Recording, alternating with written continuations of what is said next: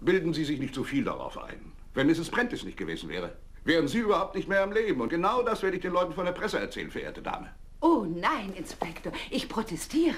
Aber wenn schon, erwähnen Sie auch mein neues Buch. Mord wird zum Zwang. Es war nett, Sie mal wiederzusehen. Aber jetzt muss ich gehen. Oh je, hab ich nicht.